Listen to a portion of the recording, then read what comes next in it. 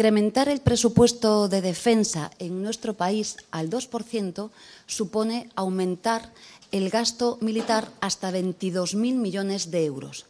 El Ministerio de Trabajo, como es público y conocido, eh, tiene un presupuesto de 30.000 millones de euros. Nosotros creemos que eh, este es un debate que la sociedad española tiene que dar con tranquilidad. Por obligación, por sentido de Estado, por sentido europeo también, por sentido de la defensa de los intereses de España, de Europa y, de, y del interés general de la comunidad internacional y, por lo tanto, objetivo que se va a cumplir, objetivo y paso que se va a dar y a partir de ahí las opiniones o, en este caso, consideraciones que puedan hacer otros grupos parlamentarios, pues, pues se queda en eso.